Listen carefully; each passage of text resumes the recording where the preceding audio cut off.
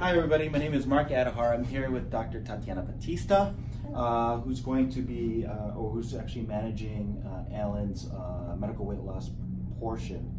Um, and so um, a lot of questions has been coming in about like what medications is he on and, and how, how they work and if they can get it. And so uh, just to clarify things, uh, we wanted to make this video to get a little bit deeper in about what Allan is receiving. Uh, hi, Tatiana. Hello. Um, okay, so what medications do we have Allan on? So one of the medications we're using is the first line for weight loss. It's called phentermine. Um, phentermine is uh, very safe and effective in the correct uh, person.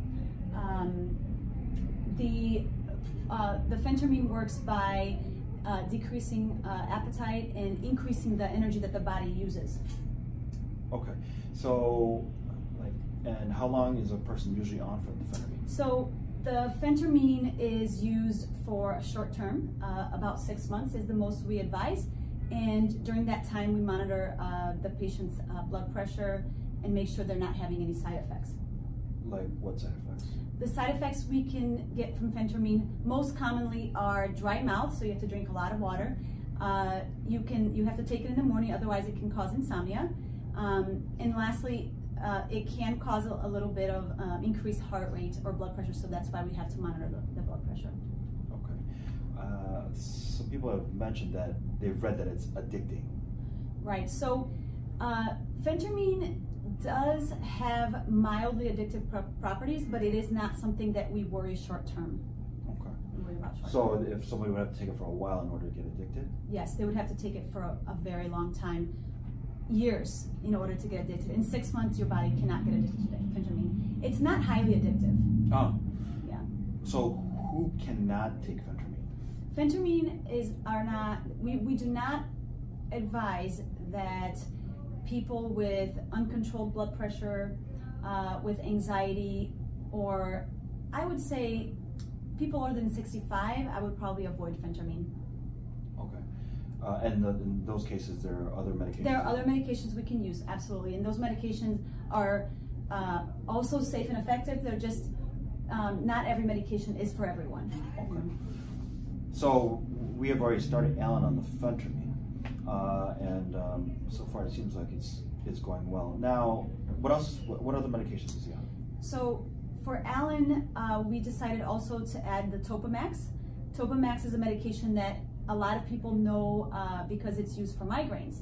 Um, when they were doing studies with Topamax, they found that people were also losing weight.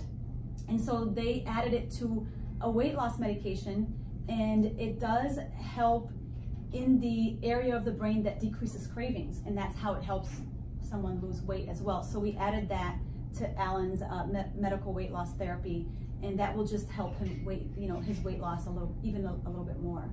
So it works in a little different way than the phentermine does? Exactly. So the phentermine works more by increasing metabolism, decreasing appetite.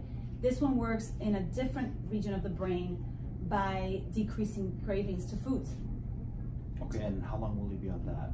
So the Topamax we can use for a long, long time. Um, Topamax doesn't have any serious side effects. It's not addictive, and it can be used past six months if we need to. And is there anybody who can't take the Topamax? The only people that cannot use Topamax might be someone who is allergic to Topamax, but there's really no other contraindication. Oh, uh, pregnant women, of course, can't use Topamax. Why? Um, it is a category uh, oh. for oh. it, it, it is not safe in pregnancy or breastfeeding, but neither is phentermine. Oh, so if you're breastfeeding, you can't take either one. You can't. Okay. No. So while Allan's on these medications, we're going to be monitoring his weight and his blood pressure and all that stuff. Correct. Making sure. So what? Let's say, for example, after three months, he's doing everything and he's not losing that much weight, um, or that you'd expect.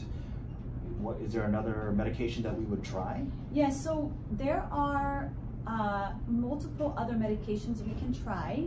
Um, there's three other oral medications we can try, and uh, some of them. Uh, are actually very, very safe and have no side effects like Belviq and Contrave.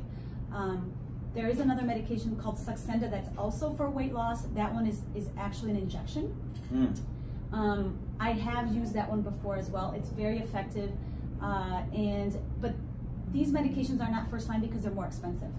Oh, I see. So, uh, Yeah. like a course of, let's say, a course of Phentermine and Topamax. How much does each one? How much would each one cost? Phentermine normally costs at the most twenty-five dollars a month, Okay. and Topamax, uh, most insurances cover it. It's generic. It costs about ten dollars with insurance. Oh, so uh, so insurances will cover these medications. Insurances cover some of these medications. Phentermine sometimes, uh, the Topamax almost always, and the some of the other ones, the insurance will cover with prior authorization sometimes as well. Okay.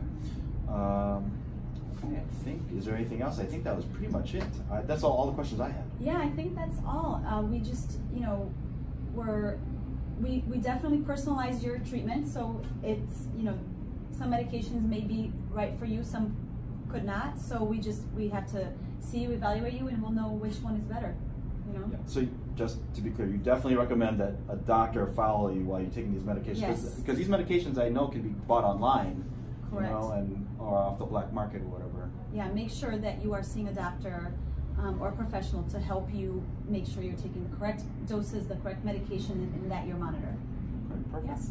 All right, great. So if, uh, if you have any questions, please leave us a comment. If you want to come see Dr. Batista, uh, the phone number will be in the description at the end, the end of the presentation. Thanks. Thank. Bye.